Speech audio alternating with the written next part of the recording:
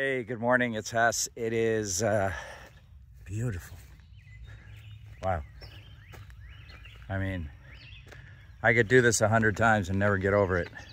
Hundred million times, apparently. So, just wanted to check in on something uh, that happened this morning. That uh, you know, I practice, I meditate. I'm pretty good at it. Expert, no, but I work at it and try to give myself space from thoughts, from work, from people, from anything.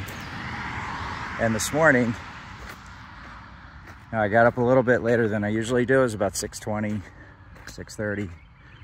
And uh, I was like, oh. I picked up my work phone and I started to look at emails.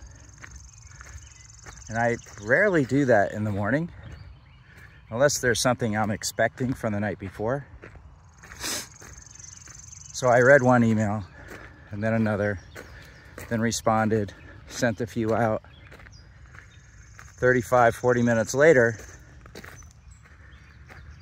I was like, I'm already at work in my brain. And that, that's the part that's really a bummer. Because your, your mind first thing in the morning is at its best moment to meditate and manifest. It is so receptive to your thoughts and your feelings. And I spent that window, that moment of time, working and feeling what was in those emails. I mean, there was nothing bad. But it was like, you know, work mode, work, work, work, work, work. So that was like a, it's kind of a drag. You know, I got the guys out to school, last day of school.